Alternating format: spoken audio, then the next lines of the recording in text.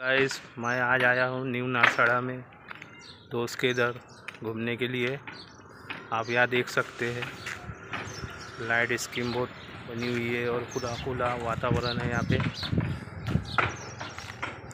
ये पंद्रह से बीस किलोमीटर पड़ता है साई मंदिर वर्धा रोड से। देखिए, पूरा हरा भरा वातावरण दिख रहा है गाइस हम चलते जा रहे हैं आगे। ये धीरे धीरे ये फ्लैट स्कीम बन रही है गाइस काम चालू है इधर में। जैसे कि आप देख सकते हो गाइस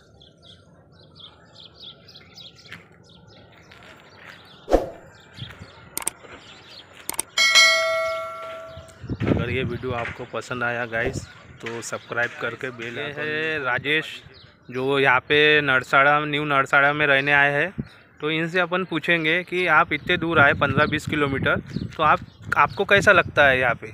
इतने दूर आप रहने आए उधर से बीस किलोमीटर से। तो राजेश जी मेरे फ्रेंड लोगों को आप बताइए कि आप यहाँ पे आए तो आपको कैसा लग रहा है? यहाँ पे सुबह के टाइम सुबह का वातावरण जो रहता है हम्म, पूरा हरा भरा रहता है अच्छा। और ठंडी ठंडी हवा आती है। हम्म, हम्म, और उसके अलावा भी। हम्म। आपके फ्लैट में बच्चों के लिए झूले गीले लगाए गए हैं? हमारे फ्लैट में वो बच्चों के लिए झूले लगाए हैं वो बड़े लोगों के लिए वॉकिंग गार्डन बना है। अच्छा। इसके अलावा यानी आपके। फ्लैट में यानी सभी सुविधा है हाँ, बच्चों से लेके बड़ों तक यानी जिम गिम ये सब लगाया हुआ है। ठीक है। तो गाइज़ आपने सुना कि इनके फ्लैट सिस्टम में हर चीज़ है मौजूद। आपको ये वीडियो पसंद आता है तो सब्सक्राइब करके बेल आइकन को guys new Narsada Wardha road Sai मंदिर से 20-25 किलोमीटर आता है ये।